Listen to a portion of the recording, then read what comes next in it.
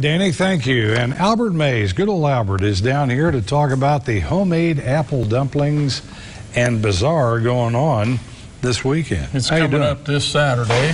Well, it's, It's always our- nice to see you, and Yeah. I, you know why. Yeah, because I bring nice treats for you. That's why.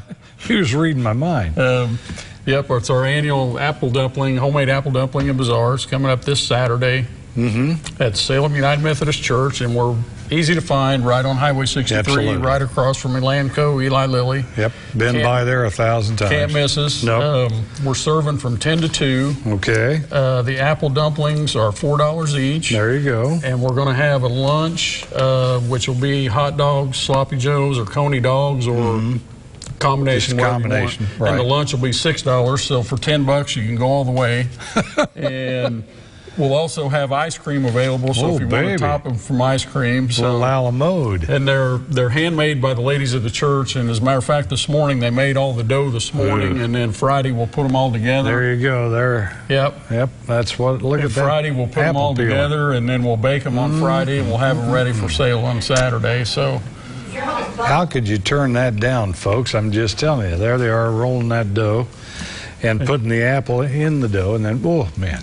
And last year we sold over 680. And But you're going for a new we're record. going for 700 or 725 this year. So, but we've already sold. We tallied up Sunday, and we've already pre-sold like 250. So we've go. already sold almost a third of them already. So, Yep. and along with that, we'll have some home Vendors. home bazaar vendors Yeah. there. Will be there too. So. What do you do with the money you make? Uh, the money is basically to support the church and what we support through the community. We support food pantries. Right. We support 14th and Chestnut Community Center. Very good.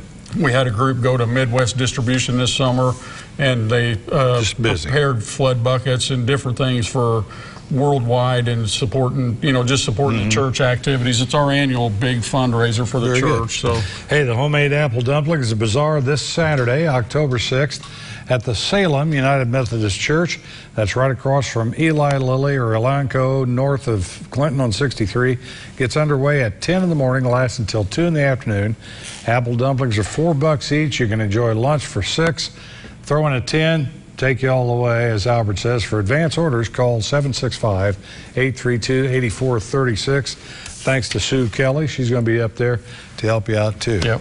Hey, Albert, so nice to see you. you. And it's too bad we don't have smell-o-vision because I guarantee you those will be gone. Yeah. Enjoy them. Thanks, Albert. I